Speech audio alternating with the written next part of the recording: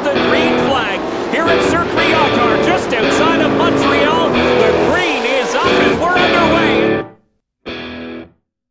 It's flat. It's rough. It's uh, it's difficult. You can see the whole road course, which is which is kind of different for a road course.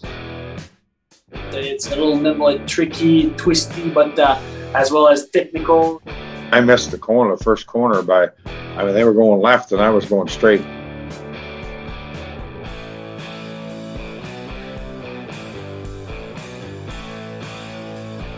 I think it'll be a lot of go, go, go, but um, at the same time, it'll be two different cars that we'll be using. Keep your emotions down, just the right level, and then uh, whatever happened on the Saturday, you don't bring it to the track on the Sunday. I think weekends like that can, can make or break you. Uh, you got to be prepared. Uh, your road course car, your oval car, you've got to have everything ready so that uh, when the green flag drops, you're ready to rock and roll.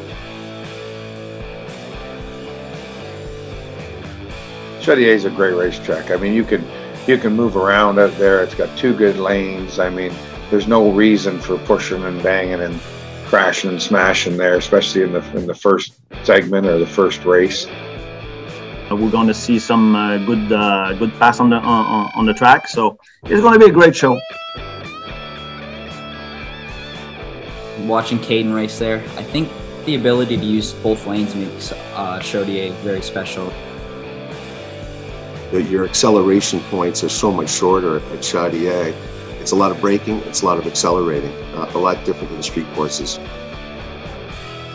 It's a small track, but it's got a lot of banking, so you're good to you're good to do some you know a lot of a lot of side by side racing at Chaudière. Use your head in the first one, and uh, then then you can tighten the helmet a little bit for the second one. I think. I'm gonna play it smooth, play it smart, and just try and save my equipment for the second race where where I'll go all out for a win.